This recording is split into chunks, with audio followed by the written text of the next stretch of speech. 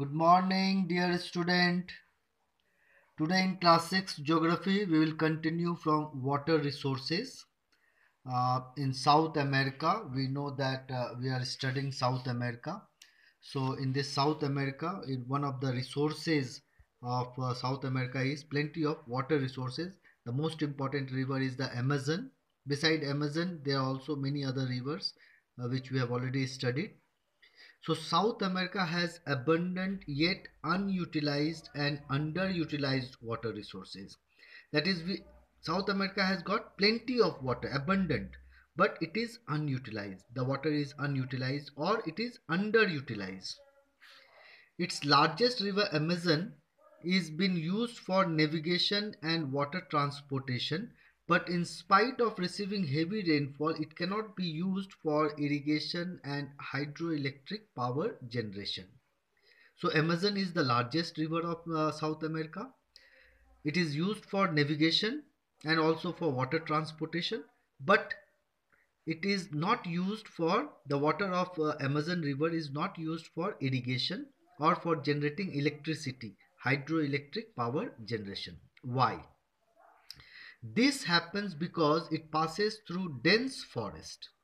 So one of the reason uh, why uh, it, it, the water of uh, this river is not utilized for irrigation because it most of the river pass through dense forest and forest area is not uh, uh, fit for growing crop or cultivation and uh, remains inaccessible. So it, since it is forest area, so it is inaccessible for people to go and uh, settle down over there.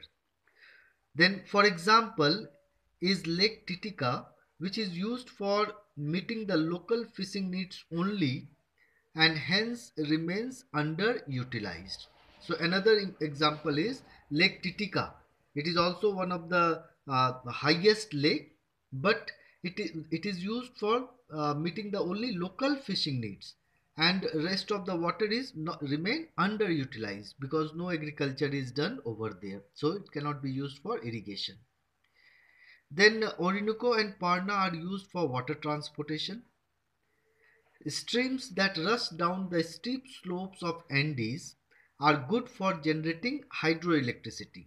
Those streams or those rivers which come down from the andes mountain from the steep slopes so the waterfall uh, and uh, and uh, flow at a very high speed so that water can be used for generating hydroelectricity.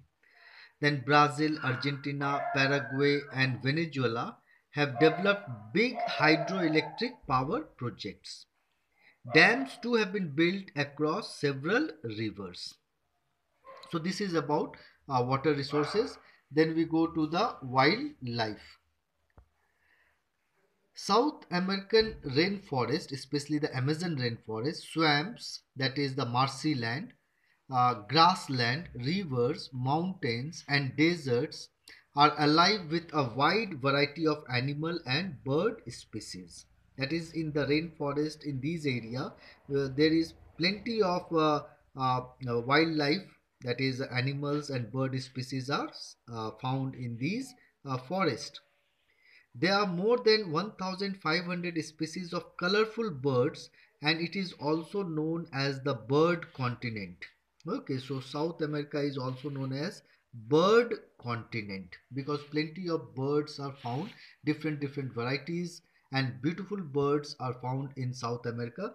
So it is also known as bird continent.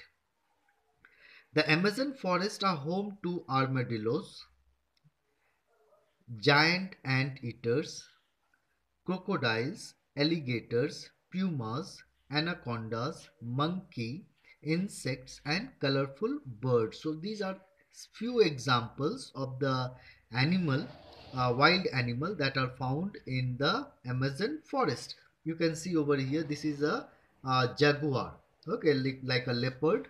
Then over here you can see uh, the gecko lizard, then over here the toucan bird. Okay.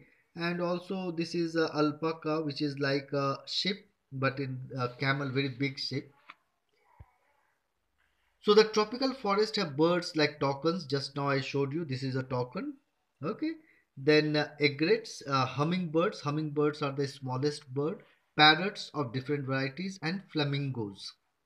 The pampas grassland have ostrich like rhea okay rhea is a bird which is like a ostrich very big then guanaco uh, pampas deer and jaguar of the cat family okay here you can see the jaguar then the high Andean regions has large preying birds such as the condor.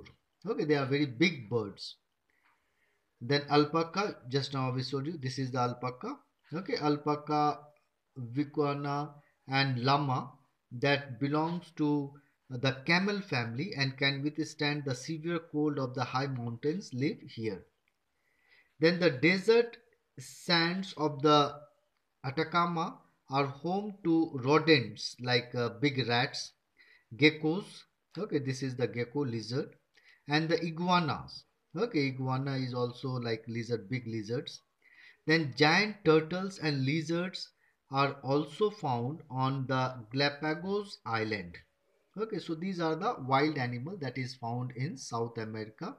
So just go through it. So today in this video we will discuss up to here and uh, uh, whatever PDF questions that you have written okay I request you you learn all the question answer it is very very important okay so take care and uh, study nicely okay bye